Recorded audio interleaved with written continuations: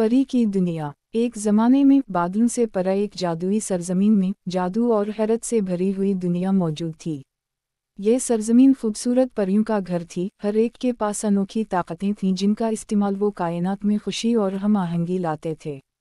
परियों की मलका नूर फायजा अपनी चमकीली रोशनी के लिए मशहूर थी जो जंगल के तारीख तरीन कोनों को भी रोशन कर सकती थी।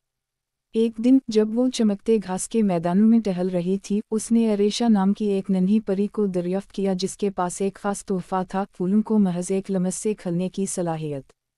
नूर फाइजा ने अरेशा की सलाहियत को पहचाना और उसे परियों के अजीम उशान महल में मदू किया। अरेशा जोश से चमकती हुई आँखों के साथ मलका के पीछे जादुई दुनिया के दिल में चली गई। ये महल चमकते हुए क्रिस्टल और ताबनाक परों का तमाशा था। तमाम इश्काल और साइज़ की परीन चारों तरफ़ फड़फड़ाती, मंतर बनाती और हँसी और मौसीकी की समफनी बनाती। नूर फाइजा ने बताया कि हर परी का एक मुनफरद मकसद होता है और रेशा का तोहफा एक नायाब खजाना है। जैसे जैसे दिन रातों में बदलते गए रेशा ने अक्लमंद बुज़ुर्गों की रहनुमाई में अपनी सलाहियतों को निखारा। इसने अपनी ताकत को बढ़ाने के लिए चंद की रोशनी की तवानाई को चैनल करना सीखा, जिससे फूल रंगों के कलीडू सकूप में फट गए। रेशा के जादू से महल के आसपास का जादुई बाग फला फूला। एक दिन परियों के मुल्क पर साया पड़ा।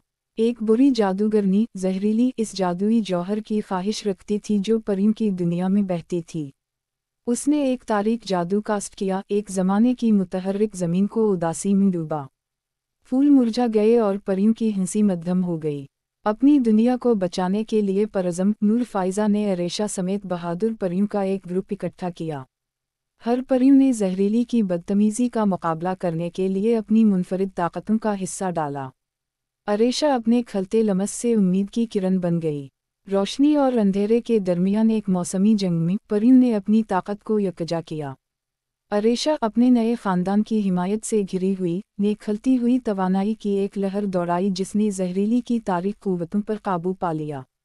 जादूगरनी को शिकस्त हुई और जादुई सरजमीन अपनी सबका शान में बहाल हो गई। परियों ने अरेशा की बहादुरी के लिए शक्र होते हुए उसे फेयरी ऑफ़ ब्लूम्स का ताज पहनाया।